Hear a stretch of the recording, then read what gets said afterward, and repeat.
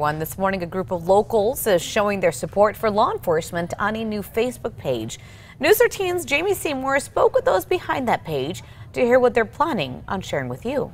I tend to try and look at the positive side of things. Robbie Sanchez says his special mission to show support for local law enforcement was inspired by his brother, who was a cop for more than 20 years. He thought about his brother on the streets all of those years and thought officers needed to hear thank you. Lately, with all the negative criticism that we see, you know, I thought, what a nice way to say thanks. Sanchez created a Facebook page, Law Enforcement and Appreciative Citizens, dedicated to sharing positive photos and stories, like this one of a state police officer taking a young boy in Santa Rosa for a ride along. The page also talks about the Flash A4, that's a hand signal community members can give to officers. It symbolizes the code 104, which means they're okay. Sanchez says it serves as a sign of gratitude. Now we do it still in our cars every time we see them you know, flash before, uh, they always flash right back too, so it's kind of a nice little way to communicate with our law enforcement personnel. Both state police and officers in Albuquerque say they're grateful for the support. Expresses their support and appreciation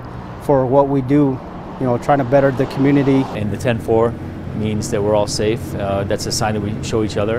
And for the public to get involved in that, just to flash that sign, it's really awesome. Sanchez says it's a dangerous job and he wants officers to know their work does not go unnoticed. We've got a lot of dedicated men and women behind the badge in Albuquerque and we just want to continue to have a tradition here in Albuquerque of saying thanks a lot because we really do need those folks. Jamie Seymour, KRQE News 13.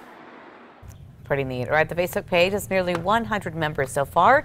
You can find a link to that on our website. That's always on krqe.com.